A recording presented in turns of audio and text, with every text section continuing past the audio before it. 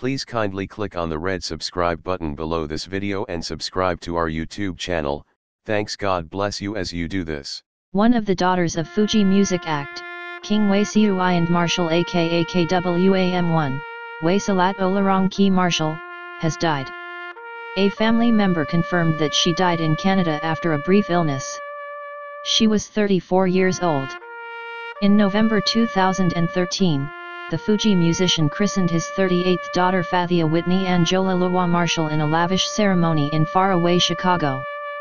He is a proud dad and most of his children are successful in their fields. His daughter, Damilola Marshall was called to bar recently and the event was star-studded. Femi Marshall also proposed to his girlfriend around June 2017. More details about the death Wei Salat Olarong Ki Marshall will be released as soon as we get more information.